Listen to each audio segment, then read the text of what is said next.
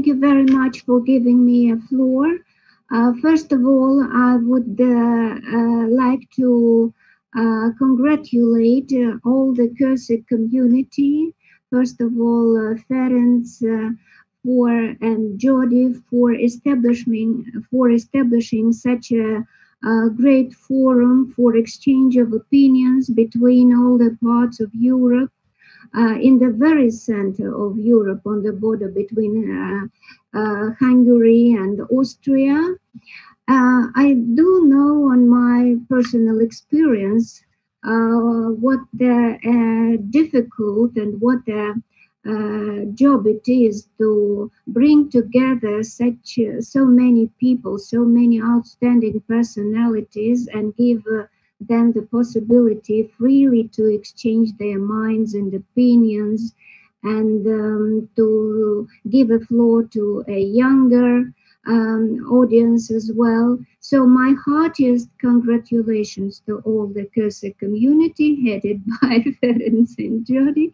I'm very glad to see you, but I pity very much that uh, we have to keep distance now and I cannot shake your hands, I cannot embrace you, but at least we can meet in uh, this way and thanks to the modern techniques. Uh, my presentation will uh, be uh, consist consisting of two parts. One uh, where I shall deliver on the um, history of 30 years uh, relations between Russia and Central Europe. Uh, I think this is the next one more meeting which is mainly dedicated to this event and then i shall speak on my own impressions how the uh, this pandemic the covid had influenced the situation in russia how did it spoil further on the relations between Russia and some Visegrad countries? Uh, I pity it very much, but unfortunately, it is the reality. So, my first more official official part uh, is dedicated to the uh, such a brief evaluation of our relations during these 30 years.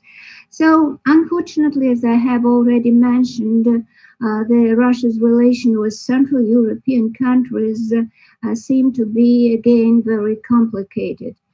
Under the three decades since the beginning of systemic transformations, they have gone through a phase of merely total cancellation of cooperation and denunciation of bilateral and collective agreements, then a positive round of adjustment, including an attempt of rapprochement, and finally have returned to the previous downward tendency already for more than five years.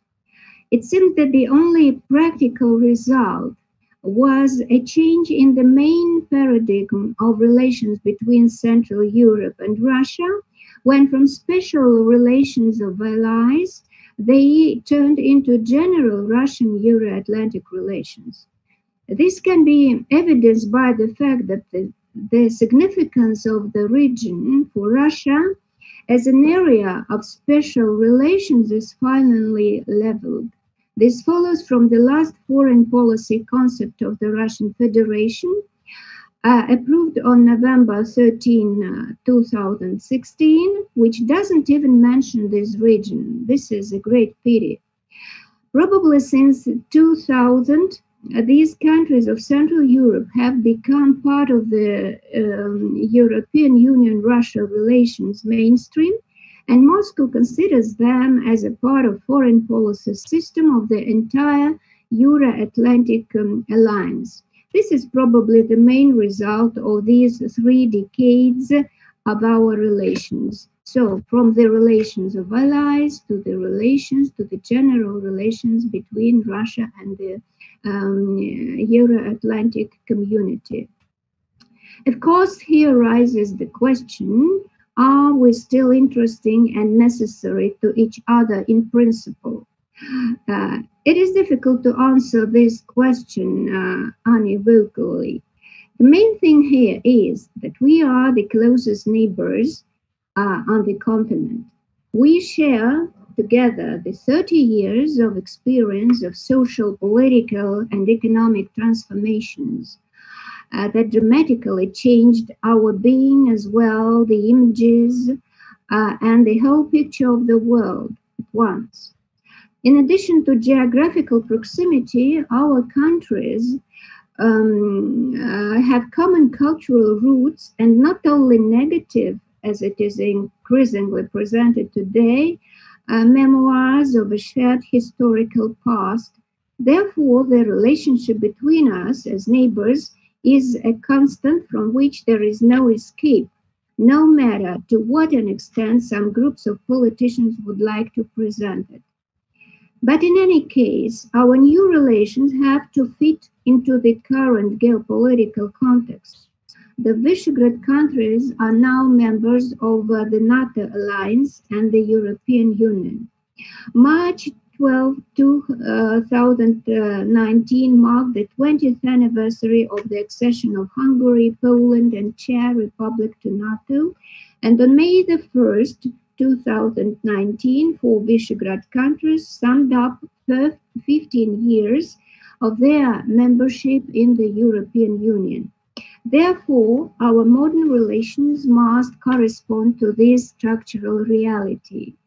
It is possible that not mentioning the region in the latest concept of the Russian Federation foreign policy can be considered as a minor significance of foreign policy steps of Central European countries in the context of anti Russian sanctions. Um, despite the private condemnation of this measure introduced by the European Union since 2014, the leaders of the quartet, in fact, do not risk entering into confrontation with Brussels, preferring the loyalty to the integration that accepted them in course of their return to Europe. What is the historical context of such a situation? Opinions of uh, Russian intellectuals regarding relations with Central Europe still differ significantly. The elder generation uh, still regards this uh, region as a special and the younger generation and I'm teaching at the, um, at the Russian School of Humanities, is uh, looking for encyclopedia to find where the region is. They do not have any um, imagination what was the Comecon or the Warsaw Pact today. That will show to what an extent was right the current political elite when it excluded the mentioning of the region from its foreign policy concept. If one will observe a series of um, uh, improving and worsening in relations between Russia and Europe, Russia and Central Europe, he can come to the conclusion that it is not a social political structure that plays the most important role in them, but exactly the geopolitics embodying the most stable constant of our relations.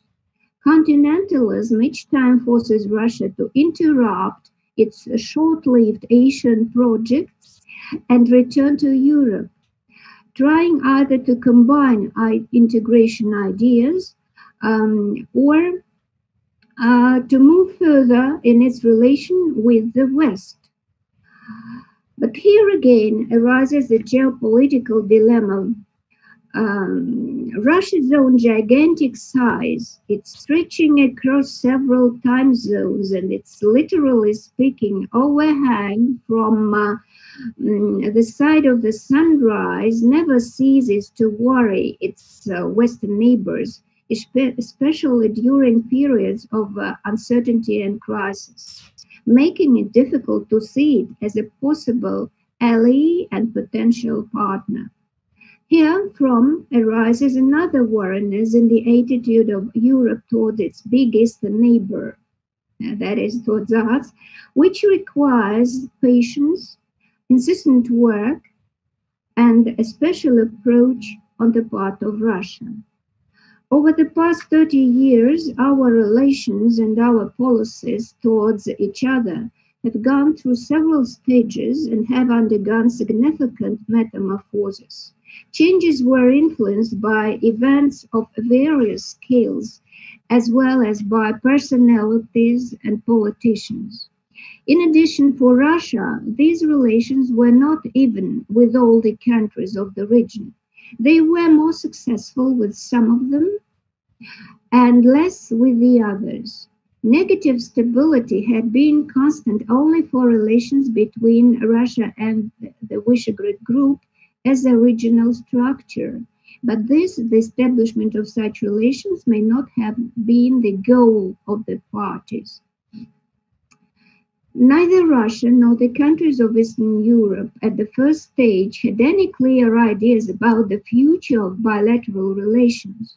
The only reason that brought them together in political terms was the idea uh, of the possibility of a joint exit from communism.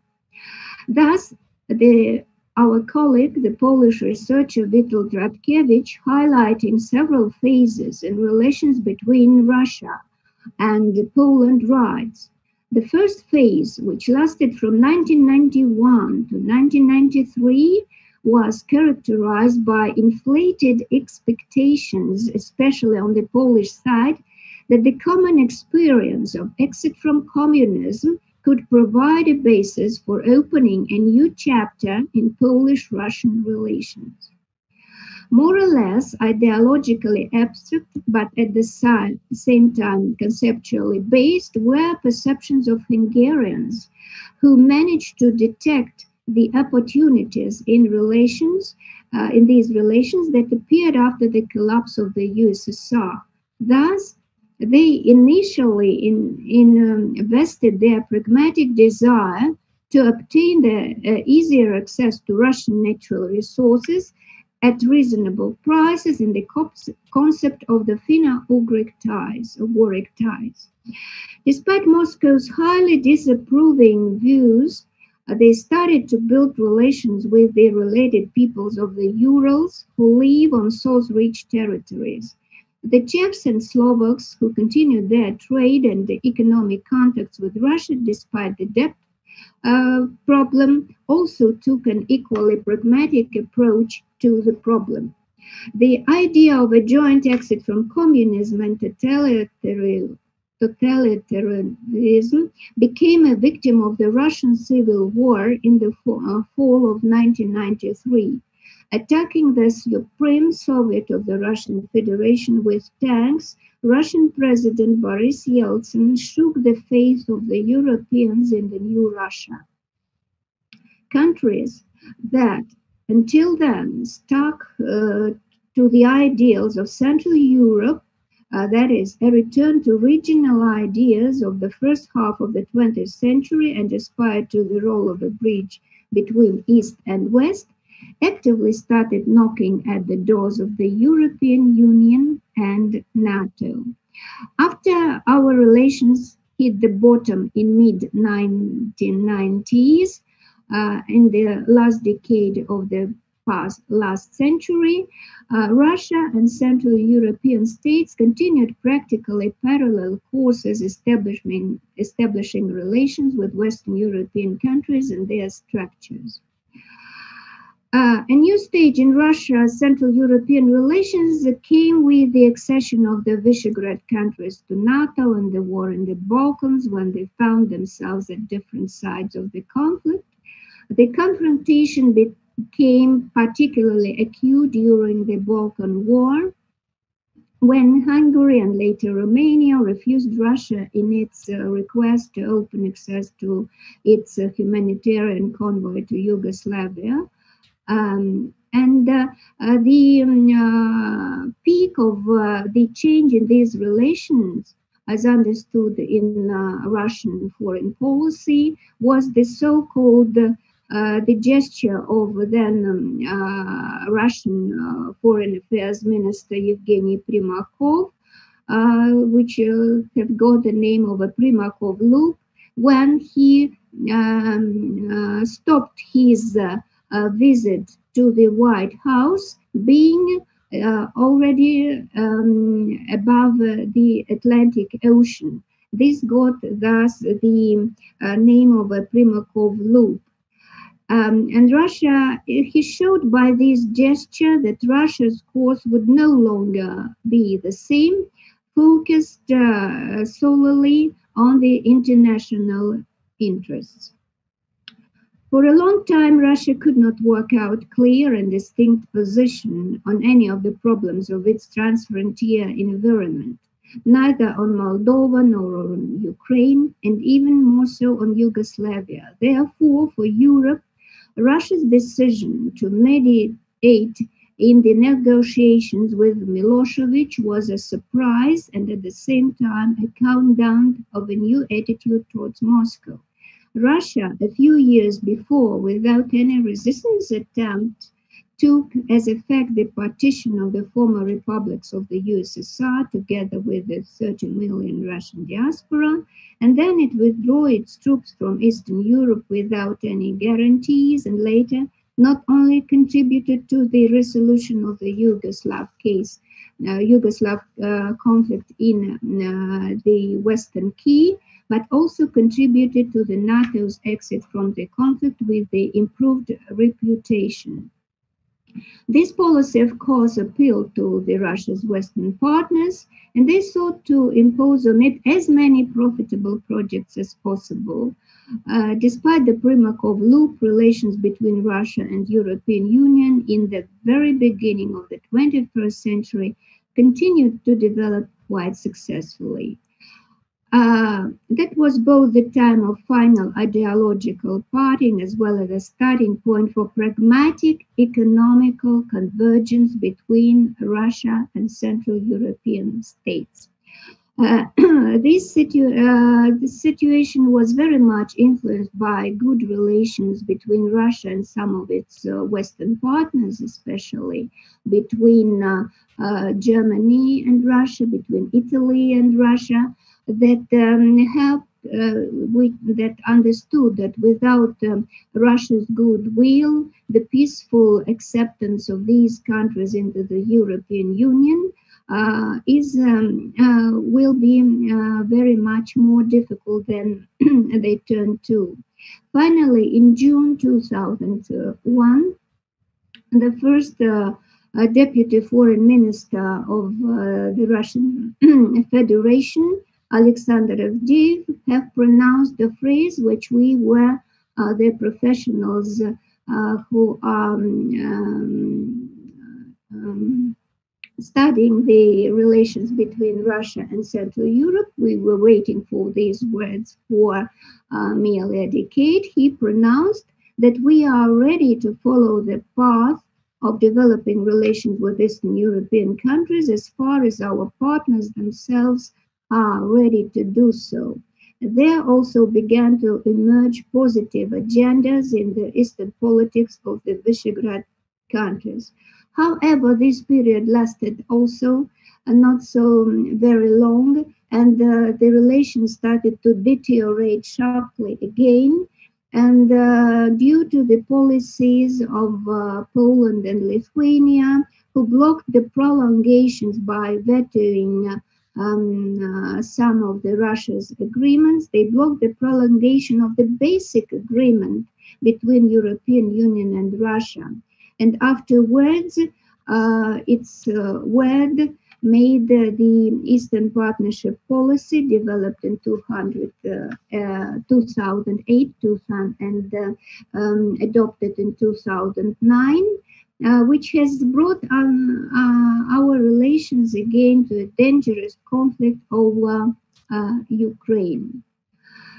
Um, currently, since then, in Russian bilateral relations with Central European countries, there appeared no common models and paths. For a long time, the main policy of the Russian Federation was to maintain relation with the socialist parties in these countries and thus, uh, the uh, Hungarian-Russian relations were the first example when uh, the Russian government have managed to build quite positive and fruitful relations with the centrist parties from Central Europe.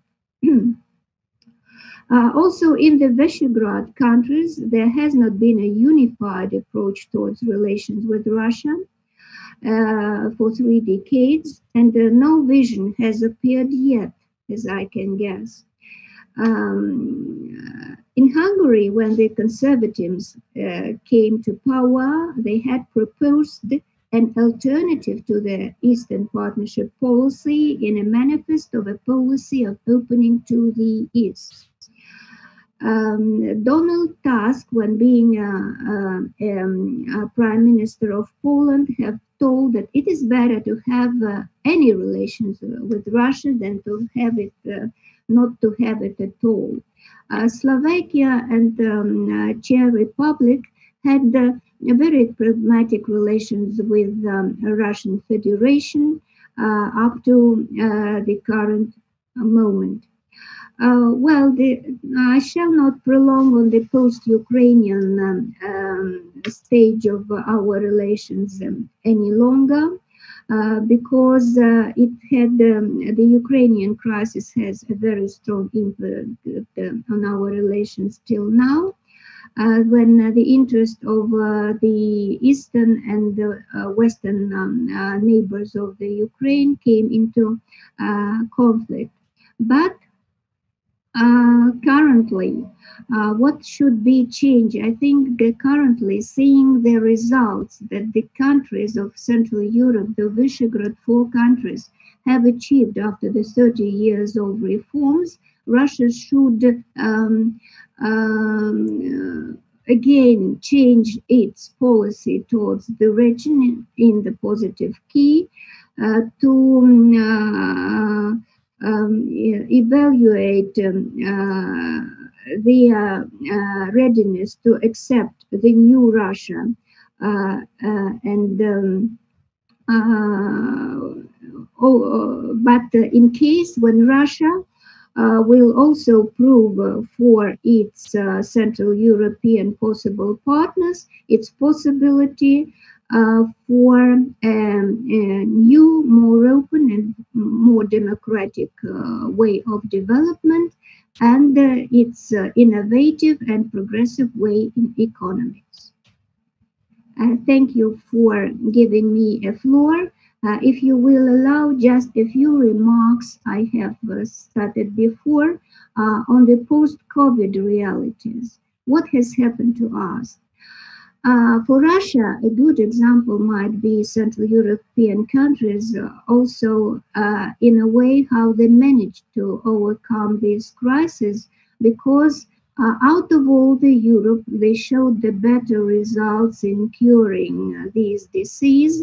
Uh, the lesser people um, were injured by it and less death and so on. We in Russia uh, are now occupying a third place in the world, uh, though uh, far lagging behind the United States and Brazil. And I think what we should concentrate on, we should not invade, invent some artificial threats for us. We should more concentrate on the natural threats surrounding us, that is, on the problems on climate, on the problems on healthcare, and of preventing um, misfortunes alike. Thank you very much.